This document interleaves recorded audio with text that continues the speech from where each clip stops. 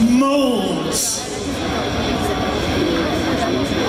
And they afflict the individual and they give him subliminal suggestions. They give him hallucinations which he perceives as reality.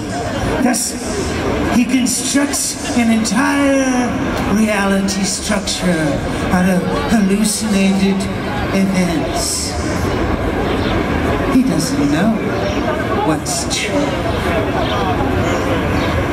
It's very sad, isn't it?